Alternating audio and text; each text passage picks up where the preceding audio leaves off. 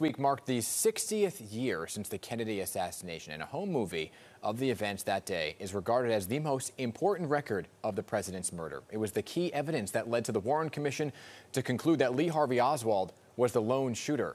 It was taken by Dallas dress manufacturer Abraham Zapruder, who was interviewed by our own Marvin Scott. And Marvin is joining me here today to talk more about this. Hi, Marvin. What a story. Well, you know, Dan, the museum has told me they learned more about Abraham Zapruder from my 22 minute radio interview than anything he told the Warren Commission or anyone else. His name is now forever embedded in the American history. The irony, though, of it all, Zapruder told me he actually forgot to bring his camera that day to film the president he loved. But it turned out to be one of the nation's darkest moments. I wouldn't have the pictures at all if it wasn't for my secretary, Mrs. Rogers, who made me go home and get the camera. I didn't have a camera with me at all that morning. And uh, she insisted I go home and get the camera.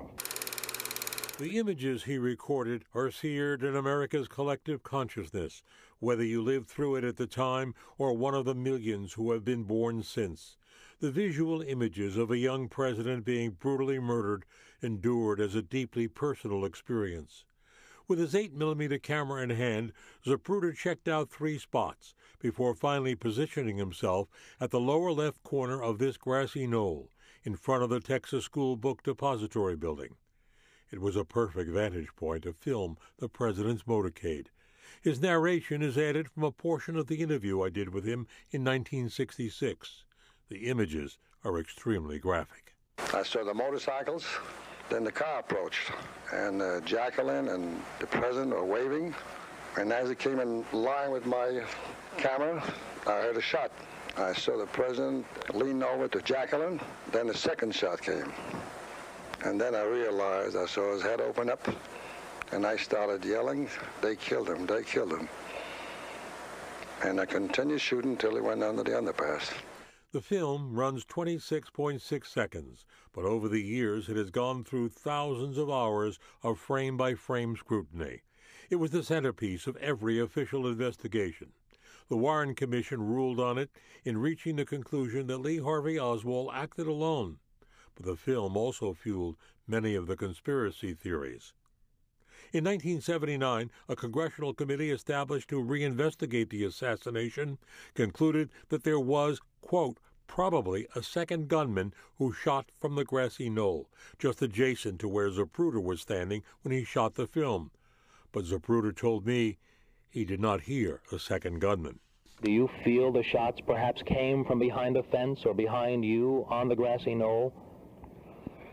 No, as a matter of fact, I heard some uh, comments about us, and I went back to the place where I stood when I, I shot these pictures and looked to that uh, wooden fence that we're talking about.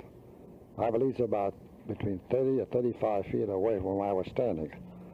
I believe I would have heard different sound, a shot coming from my uh, coming from my right ear. Zapruder's camera is now in the National Archives. A new camera Bell and Howell sent him was never used. He told me he could never again put his eye to the viewfinder because it rekindled all the images of that awful day in Dallas. In 1999, the government paid the Zapruder family $16 million for the original 8mm film, a record for a historical artifact. It is now preserved in the National Archives. Abraham Zapruder died in 1970, a quiet, unassuming man who never expected to be immortalized by a horrible moment in history. His images have now frozen in time, Dan. Fascinating that he wouldn't pick up a camera after that incident, Marvin. You know, Zapruder only did a handful of interviews in his lifetime, one of the most sought after people to do an interview with, and you got him. How did you get that interview? to take the quote from his granddaughter's book, 26 Seconds cajoled, pleaded, mm. and used good old fashioned charm. Yeah. He did not do interviews. He was a very private man, and I engaged in conversation with him. I knew he lived in Brooklyn until the age of 15 I'm a kid from the Bronx. Right. We bonded talking about New York, and after 15, 20 minutes, he said, "Can you be here at two o'clock?" There you go. And you. And once I got over. there, I convinced him to come down to the very spot where he stood when he took that. Wow, film. incredible! But the narration now over the video from the interview, how did that whole thing come about? Very carefully Yeah. edited 26.6 seconds of the film. My audio portion around 33 Wow. something seconds. A nip and tuck here brought it down to 26.6 seconds. Yeah. And it took about 40 years to finally get hold of it, get the rights to use the film Right. from the Sixth Floor Museum. And now my original cassette recording is, I've donated that to the museum. It's part of the Permanent Ar- Assassination Archive. Incredible, Marvin. 60 years later, though, there is still likely something we don't know. There are sealed documents to this very day. What do we think are in those sealed documents? I feel like you know everything. Well, I wish I had the answer to that. but in 1992, the government mandated that everything had to be released. Right.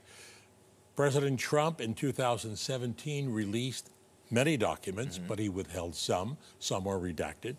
President Biden has released some. He's still withholding some. About 5 million pages have been so far released. 97 or 98 percent of the material has been released. But what's in those other documents? I believe the FBI and the CIA are pressuring the presidents to withhold information because there's information in there about perhaps informants, agents, things that concern national security. And we won't have a full picture until the government is fully transparent and we see all those documents. I'll never forget Earl Warren said something after the release of the Warren Commission Right. report. He said, There are some things in our lifetime we will never know about the assassination.